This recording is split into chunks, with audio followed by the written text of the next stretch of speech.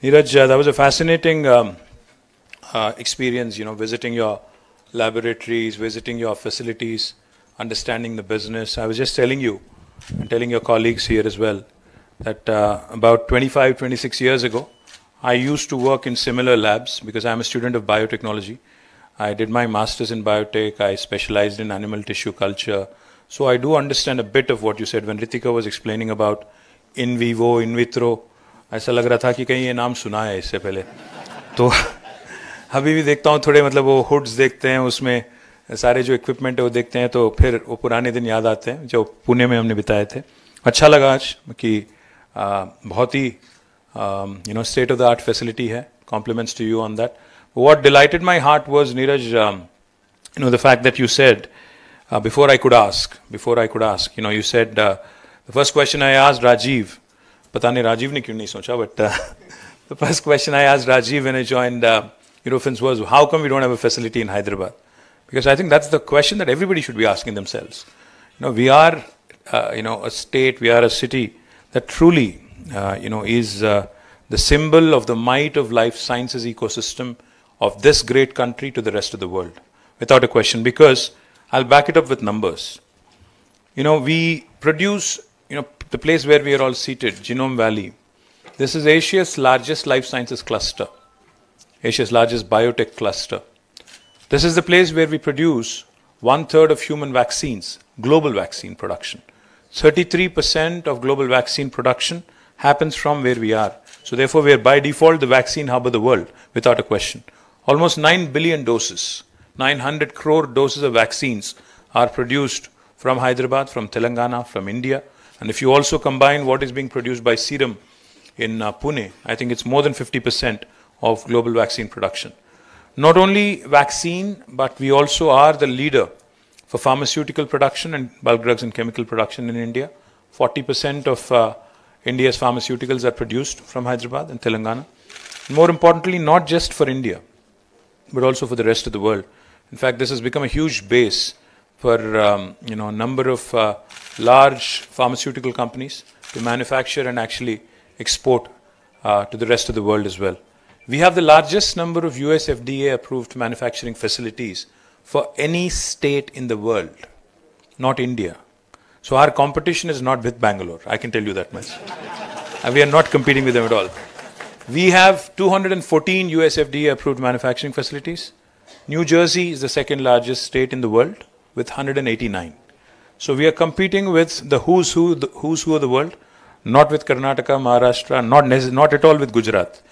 वो पक्का है गुजरात को भी देख लेंगे वक्त आने पे but I'm very, very delighted to be here because you know your uh, statement when you said Neeraj that um, right now it's about 100,000 square foot of facility and you said you've invested about uh, 1,000 crores of rupees.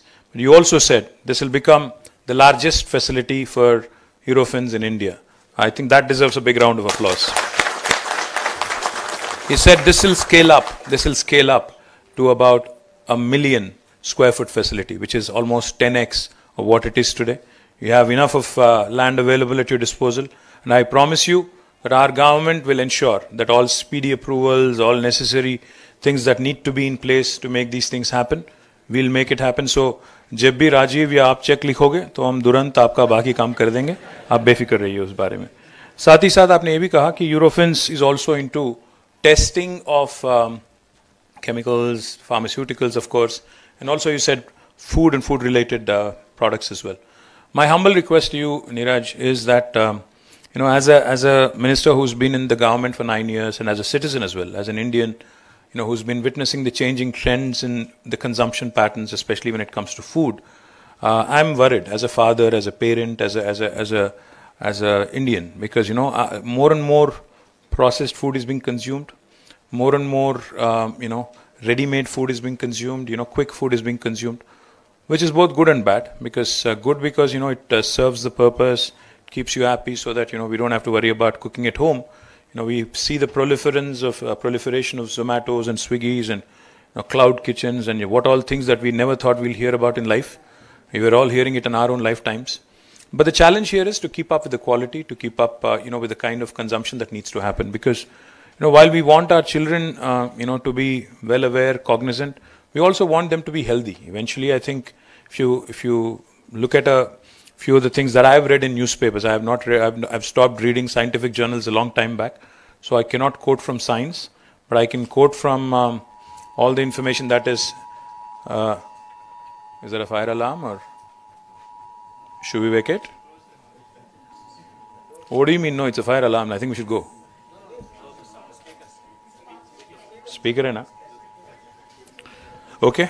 This is a closed auditorium, so good luck, guys. All I'm saying is, uh, all I'm saying is, see, I'm worried because we need to also figure out a strategy on how our children, because you know, what I've read, I could be wrong, subject to correction, because, uh, and with all due respect to all the food companies out there who've been investing in Telangana also, I've read that about 50 to 60 percent of all the ailments that you know cause problems today are actually coming through the intake that you know we all uh, you know have on a daily basis.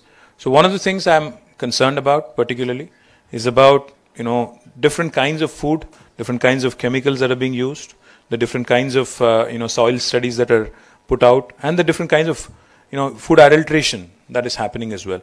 So if I may make a request to you, I am also the Minister for Municipal Administration and I can tell you, neither does my health department nor do I have uh, enough people you know, testing the quality of food in the city of Hyderabad or in the city, in other cities and other towns across the state as well. Because this proliferation, like I said, of restaurants, cloud kitchens, we don't have the kind of uh, capacity to test each and every grain of food or each and every restaurant on a day-to-day basis. Of course, we hope that the F&B industry, which is largely relevant on word of mouth kind of a publicity, you know, self-regulates and uh, you know restrains from doing anything which is untoward. Of course, because they rely on uh, customer feedback, they rely on word of mouth, like I said. So normally they self-regulate, but I think together maybe there can be a model which you have done elsewhere in the world where we can start sampling you know the different kinds of food available and you know maybe uh, whether it's healthy or unhealthy whether it's good or bad you know that sort of thing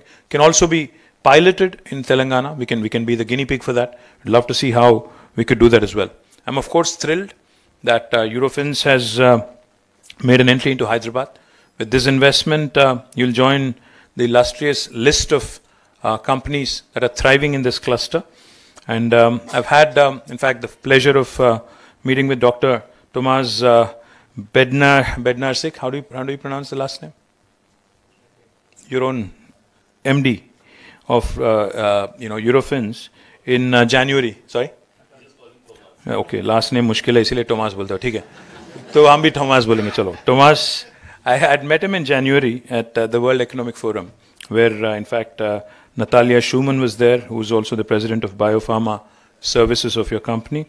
Now, this was in January this year, and today I'm delighted to be inaugurating this facility because you know that was a quick, quick turnaround, less than eight months. I'm really, really happy, and congratulations to Neeraj and the entire team which executed this project in a very short span of time.